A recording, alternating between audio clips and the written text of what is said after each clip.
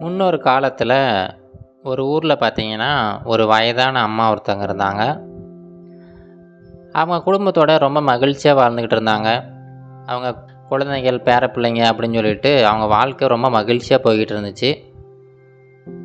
அன்றைக்கி ஒரு நாள் திடீர்னு பார்த்திங்கன்னா ஒரு வேலையாக வெளியூருக்கு ஒரு பயணம் மேற்கொள்ள வேண்டி இருந்துச்சு.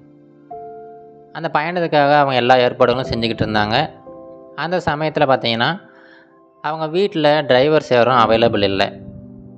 அதனால் வேறு வழி இல்லாமல் அவங்களே அந்த காரை ஓட்டிக்கிட்டு போயிட்டு இருந்தாங்க. அவங்க போகிற வழியில் பார்த்தீங்கன்னா ஒரு பெரிய காடு இருந்துச்சு. அந்த காட்டு வழியாக தான் அவங்க போய் ஆகணும். வேறு வழி எதுவும் இல்லை. அந்த காட்டு வழியாக அவங்க காரில் போய்கிட்டு இருந்தாங்க. அவங்க பயணத்தை தொடர்ந்த சமயம் பார்த்திங்கன்னா அது ஒரு மாலை நேரம். அப்படியே கொஞ்சம் கொஞ்சமாக இருள் சூழ ஆரம்பிச்சிச்சு. அவங்க அந்த காட்டு வழியாக போய்கிட்டே இருந்தாங்க. அப்படி போய்கிட்டு இருக்கும்போது பார்த்தீங்கன்னா திடீர்னு அவங்க காரோட டயர் வந்து பஞ்சர் ஆகிடுது வேறு வழி இல்லாமல் அந்த காரை வந்து அப்படியே கொஞ்சமாக ஓரங்கட்டி அந்த சாலை ஓரத்தில் நிறுத்திடுறாங்க. இப்போ பார்த்தீங்கன்னா அந்த கார் வந்து ஒரு நடு காட்டில் ஒரு இருள் சூழ்ந்த ஒரு சமயத்தில் அந்த காரில் வந்து இவங்க ரொம்ப பயத்தோடு அமர்ந்திருக்காங்க. அந்த காடு பார்த்திங்கன்னா மிருகங்கள்லாம் உலாவுற ஒரு ஆபத்தான ஒரு பகுதி. அந்த சமயத்தில் அவங்கக்கிட்ட ஒரு செல்ஃபோன் இருக்குது ஆனாலுமே செல்ஃபோனில் வந்து யாரையும் தொடர்பு கொள்ள முடியல. அந்த செல்ஃபோனில் சிக்னல் இல்லை.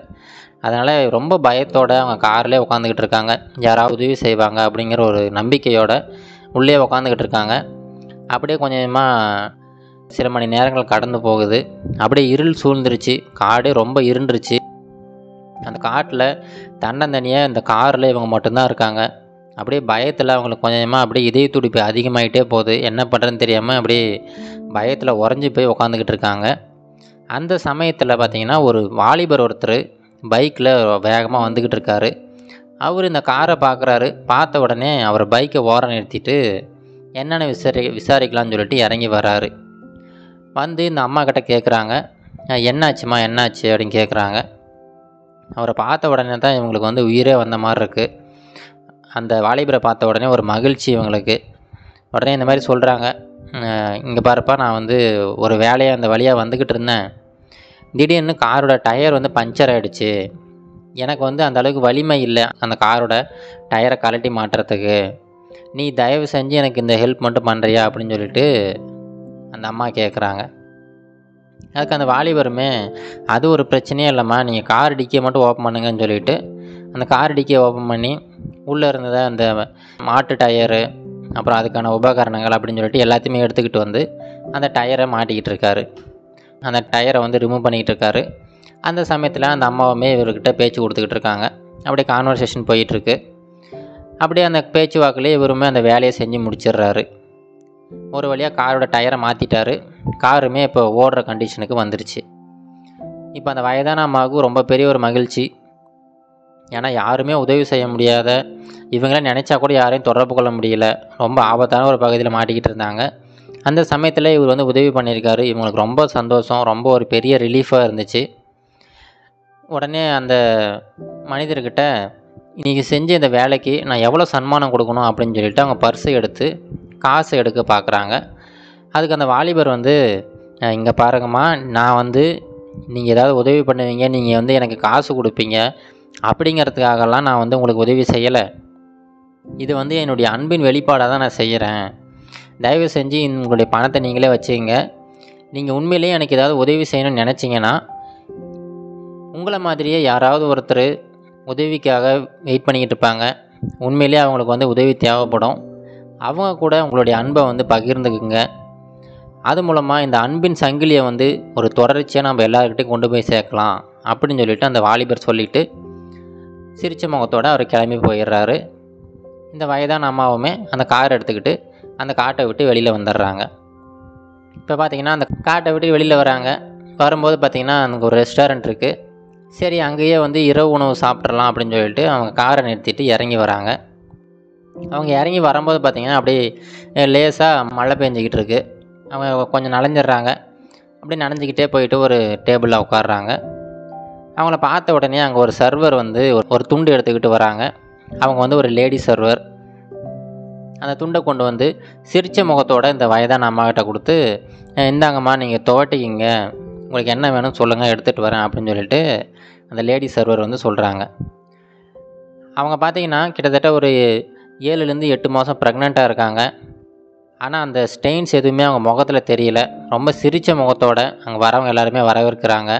சிரித்த முகத்தோட எல்லாருக்குமே உபசரிப்பு பண்ணுறாங்க இந்த விஷயம் இந்த வயதான அம்மாவுக்கு ரொம்ப பிடிச்சி போகுது. இவங்களுமே ஒரே ஒரு காஃபி மட்டும் கொடுங்க அப்படின்னு சொல்லிட்டு ஆர்டர் பண்ணிவிட்டு அதை மட்டும் குடிச்சிட்டு வெயிட் பண்ணிக்கிட்டு இருக்காங்க. இந்த லேடி சர்வர் வந்து பில் எடுத்துக்கிட்டு வந்து இவங்ககிட்ட கொடுக்குறாங்க. இந்த அம்மா வந்து ஒரு இரண்டாயிரம் ரூபாய் நோட்டை எடுத்து அந்த பில்லில் வச்சு அந்த லேடி சர்வர்கிட்ட கொடுக்குறாங்க. உடனே அந்த லேடி சர்வர் வந்து அதை எடுத்துக்கிட்டு போயிட்டு கேஷ் கவுண்டரில் சில்லறை மாற்றி எடுத்துக்கிட்டு வராங்க. அவங்க வரும்போது பார்த்திங்கன்னா இந்த வயதானம்மா அந்த இடத்துல இல்லை. அவங்க கிளம்பி போயிடுறாங்க. ஆனால் ஒரு சின்னதாக ஒரு நோட் மட்டும் எழுதிட்டு போயிருக்காங்க. அந்த டிஷ்யூ பேப்பரில் எழுதிட்டு போயிருக்காங்க. அது என்னென்னு பார்த்தீங்கன்னா இங்கே பாருங்கம்மா. நீங்கள் வந்து எனக்கு வந்து எதுவும் செய்ய தேவையில்ல. நான் கொடுக்குற அந்த பணம் வந்து நீங்கள் பண்ண அந்த உபசரிப்புக்கு என்னால் முடிஞ்ச ஒரு அன்பின் வெளிப்பாடை தான் நான் கொடுக்குறேன். இதை வந்து நீங்கள் எனக்கு ஒரு கைமாறு நீங்கள் வந்து என்னை நல்லா கவனிச்சிங்க அப்படிங்கிறதுக்காகலாம் கிடையாது. நீங்கள் சிரித்த முகத்தோடு எல்லாரையும் வரவேற்கிறீங்க. அது எனக்கு ரொம்ப பிடிச்சிருக்கு. அதனால தான் நான் இதை வந்து கொடுக்குறேன். தயவு செஞ்சு இதை வச்சுக்கோங்க. முடிஞ்சால் நீங்களுமே இது போல் யாராவது ஒருத்தர் உதவி தேவைப்படுற ஒரு ஆளுக்கு உதவி பண்ணுங்கள் இந்த அன்பின் சங்கிலியை வந்து அப்படியே தொடர்ந்துக்கிட்டே போகலாம் அப்படின்னு சொல்லிட்டு எழுதியிருக்காங்க. இதை பார்த்த உடனே அந்த லேடி சர்வருக்கு ஒரு மகிழ்ச்சி. அதே மாதிரி அவங்க கண்ணில் அவங்களே அறியாமல் கண்ணீர் வருது. ஏன்னா இந்த ரெண்டாயிரம் ரூபாங்கிறது அவங்களுக்கு ரொம்ப பெரிய காசு. அவங்க ஒரு நாலு அஞ்சு நாள் வேலைக்கு போனால் தான் அந்த காசை சம்பாதிக்க முடியும். அவ்வளோ பெரிய தொகையை ஒரே டைமில் கொடுத்துட்டாங்க. அது மட்டும் இல்லாமல் அவங்க ப்ரெக்னெண்ட்டாக இருக்காங்கல்ல. அதனால் அந்த ப்ரெக்னென்சிக்காக அவங்க கொஞ்சமாக காசு சேர்த்துக்கிட்டு வராங்க. இந்த காசுங்கிறது ரொம்ப பெரிய ஒரு காசு அவங்களுக்கு. அதை நினச்சி ரொம்ப சந்தோஷப்படுறாங்க. அவங்க அந்த சந்தோஷத்தோடய வீட்டுக்கு கிளம்பி போகிறாங்க இது போல் தாங்க நம்ம வாழ்க்கையிலும் பார்த்தீங்கன்னா நம்ம பல மனிதர்களை சந்திப்போம். பல இடங்களில் பல மனிதர்கள் பார்த்திங்கன்னா உதவிக்காக வெயிட் பண்ணிக்கிட்டு இருப்பாங்க. உண்மையிலேயே அந்த உதவி தேவைப்படுற மனிதர்களுக்கு உங்களால் முடிஞ்ச ஒரு சின்ன உதவி செய்யுங்க. உங்களுக்கு வேணால் அது ஒரு சின்ன விஷயமா இருக்கலாம். அந்த உதவி பெறுகிற அந்த மனிதரோட வாழ்க்கையில் அது ரொம்ப ஒரு பெரிய ஒரு மாற்றத்தைவே ஏற்படுத்தும். நீங்கள் செய்கிற உதவி வந்து ஒரு கைமாறு எதிர்பார்த்து எதுவும் செய்யாதீங்க. உங்கள் அன்பின் வெளிப்பாடாக செய்யுங்க. அது அப்படியே ஒவ்வொருத்தர்கிட்டையும் ஒவ்வொருத்தர்கிட்டையும் அப்படியே ட்ரான்ஸ்ஃபர் ஆகிட்டே போச்சுன்னா ஒரு சங்கிலி தொடர் மாதிரி உலகம் ஃபுல்லாக எல்லா மக்களுக்குமே இந்த அன்பின் வெளிப்பாடு வந்து போய் சேரும். இது மூலமாக உலகம் பார்த்திங்கன்னா ஒரு அமைதியான ஒரு அன்பான ஒரு பகுதியாக மாறும். மக்கள் எல்லாருமே ரொம்ப மகிழ்ச்சியாக அன்பாக வாழலாம். அதனால் முடிஞ்ச வரைக்கும் எல்லாருக்கும் உதவி செய்யுங்க. அது உங்களுடைய அன்பின் வெளிப்பாட்டினால செய்யுங்க.